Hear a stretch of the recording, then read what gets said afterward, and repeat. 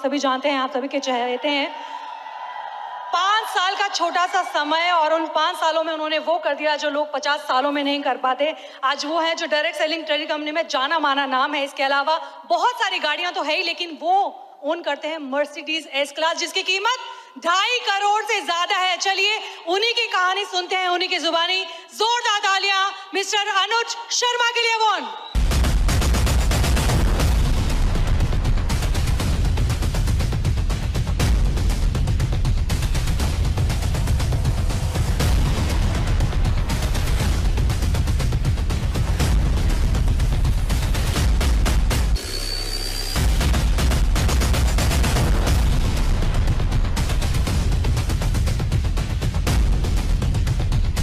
Leader ने मेरे से पूछा।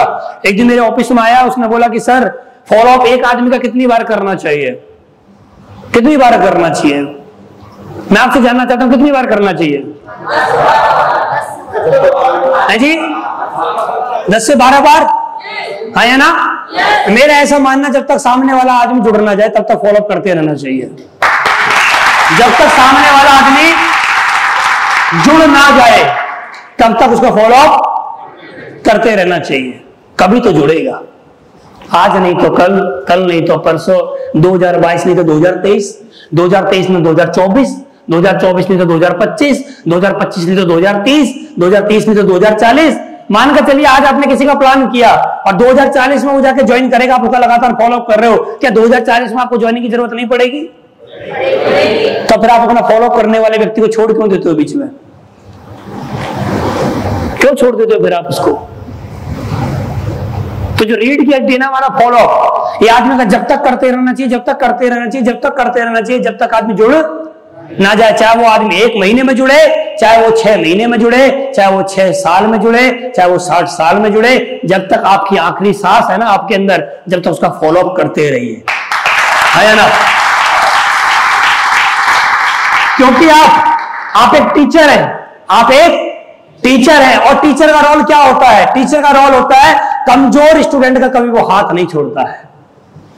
जो आज आदमी आपके साथ ज्वाइन नहीं कर रहा है ना, समझ लीजिए कमज़ोर स्टूडेंट है। इसको भी समझ में आपकी बात नहीं आई है। इसको लगातार लगे रहिए। क्या पता आज नहीं, आने वाले समय में बात समझ में आ जाए। कमज़ोर स्टूडेंट है। उसको एक बात में एक बार समझ में नहीं आ रही है। उसको एक बार में एक बात समझ में नहीं आ रही लगातार समझाते जाइए, लगातार समझाते जाइए। कभी तो समझ में आएगी आएगी। है ना? हम लोग क्या करते हैं? हम लोग सामने वाले का फॉलोअप चार से पाँच बार कर लेते हैं। चार बार हमने फॉलोअप कर लिया। क्या पता? वो एक बार और देख रहा हूँ कि यार अगली बार जब आएगा ना आपको तो पक्का ज्वाइन कर लूँगा चार बार परेशान कर दिया मैंने। अब पांचवी बार आप पहुँचे नहीं हम्म? ऐसा नहीं हो सकता। हो सकता है ना सर आदमी सोच रहा हो, यार उस आदमी को मैंने चार बार परेशान कर दिया। चार बार अपने घर पे बुला लिया, चार बार उसने अपने एक एक दो दो घंटे दे दिए मेरे को, यार आपके आएगा ना? आपको तो यार मैं पैसे दे ही दूँगा, चलो आपको ज्वाइन कर ही लूँगा, यार, इतना अच्छा आदमी है चार चार बार आ रहा मैं मना भी करता हूँ, फिर भी आ जाता है, यार, कितना अच्छा आदमी है, लोग तो हमारे घर बुलाए से नहीं आ रहे तो बिना बुलाए आ रहा है, कितना बढ़िया आदमी है, चलो, अगली बार आएगा तो पक्का ज्वाइन कर लूँगा। और भाई साहब, अगली बार पहुँचे नहीं। किसकी गलती है? हैं जी? किसकी गलती है? खुद की है ना?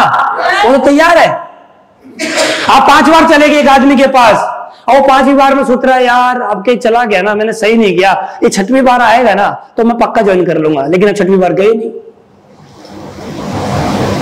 एक आदमी साहब दस दस बार मिल लिए। वो अपने परिवार में बात कर रहा है, यार, आदमी कितना बढ़िया आदमी है। मेरे घर पर दस बार आ गया और आज भी प्यार से बात कर रहा है। आज भी मेरे भविष्य के बारे में मुझे समझा रहा है। आज भी बार बार समझा रहा है। बार बार मुझे बता रहा है कि इस काम को करने से घर आ जाएगा, इस काम को करने से जीवन में बदलाव आ जाएँगे, इस काम को करने से ऐसे हो जाएगा, इस काम को करने से देश विदेश की यात्रा मिल जाएँगी, इस काम को करने से परिवार में सुखियाँ आ जाएँगी, खुशियाँ हो जाएँगी। ठीक है, सब कुछ हो जाएगा, सुख भी आएँगे, खुशियाँ भी हो जाएँगी हमारे परिवार में। और दस बार से आदमी समझा रहा है अपनी वाइफ से वो बात कर रहा है कि इस आदमी को दस बार मना कर दिया। लेकिन अब के मैं सोच रहा हूँ ना, अब कहीं आएगा ना तो इसने मुझे समझाया था प्लान में कि ट्रिपल आईडी से ज्वाइन करने के ज़्यादा फ़ायदे होते हैं। चल तो एक काम कर बैंक से पचास हज़ार रुपए निकाल कर तैयार रख, ये अगली बार जब आएगा मैं पक्का ज्वाइन कर लूँगा। अगली बार आप गए अगली बार आप गए नहीं। व्यक्ति साहब पंद्रह बार मिल लिए, अरे वो अपने परिवार में दोस्तों से बात कर रहा है, यार एक व्यक्ति है मेरे पास आता है, पंद्रह बार आ गया यार, पंद्रह महीने से बार बार आ रहा है, बार बार आ रहा है, और मैं उसको बार बार मना करता हूँ। अब मैं सोच रहा हूँ मना नहीं करनी चाहिए, किसी का दिल नहीं दुखाना चाहिए। चल, सोच रहा हूँ ज्वाइन कर लूँ। लेकिन मैं एक बात सोच रहा हूँ, तुम मेरे बीस बीस दोस्त हो। हम एक बार एक काम करते हैं, तुम मेरे कहने से ना, हम सारे के सारे लोग, दोस्त है ना, एक साथ ज्वाइन कर लेते हैं। अगली बार आएगा ना, तुम सबका पेमेंट अपने अपने पास तैयार रखना। पंद्रह पंद्रह हज़ार रुपए सभी लोग तैयार रखना। अगली बार आएगा ना, उस आदमी के साथ हम सारे 21 लोग एक साथ ज्वाइन कर लेंगे। अगली बार आप गए नहीं। अगली बार तो आप गए नहीं। अरे भाई साहब कुछ भी हो सकता है। ये हिंदुस्तान है या कुछ भी हो सकता है। कुछ भी हो सकता है इस हिंदुस्तान में, कुछ भी। कुछ भी असंभव नहीं है यहाँ। सबसे बड़ी समस्या क्या है ना? कि हम बीच में ही अपने हथियार डाल देते हैं। ये बात याद रखें यार। मैंने फिर बोला उसी बात को, या तो किसी भी काम को करा नहीं, और कर रहे हो ना तो पूरी शिद्दत के साथ करो यार।